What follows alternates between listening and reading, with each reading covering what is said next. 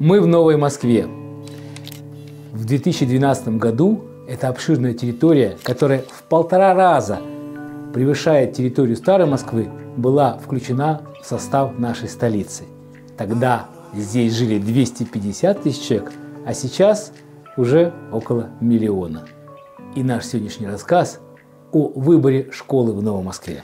В Англии цена недвижимости определяется близостью и качеством близлежащих школ. На ведущих порталах по недвижимости США обязательно рассматривая какую-нибудь недвижимость конкретную, вы увидите подробную информацию о школах, находящихся рядом.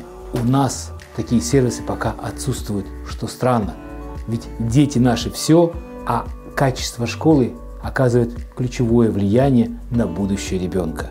Об огромном интересе к школам мы можем видеть по спросу со стороны наших покупателей и арендаторов, которые выбирают себе дом с помощью нашего агентства недвижимости «Белые ветры».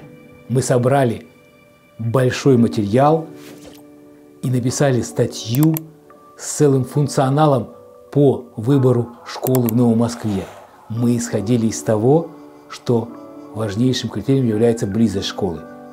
Почему-то существующие сейчас рейтинги и статьи рассматривают школы во всей Москве, как будто человеку, проживающему в Новой Москве, может быть интересно водить ребенка в школу на Преображенском площади или на метро Сходинская. Это же не так.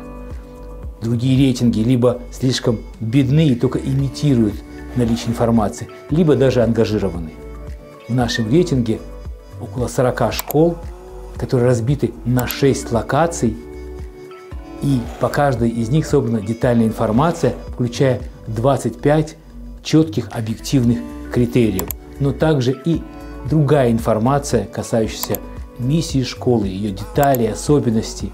Все это в очень удобном виде и можно удобно сравнивать как на карте, так и в таблицах. Также вы можете узнать, какие поселки находятся рядом с каждой школой, чтобы понять, где приобрести недвижимость, арендовать является наиболее удобным с точки зрения посещения данной школы. Заходите по ссылке в описании по этим роликам и смотрите детальную информацию с функционалом выбора школы в Новой Москве.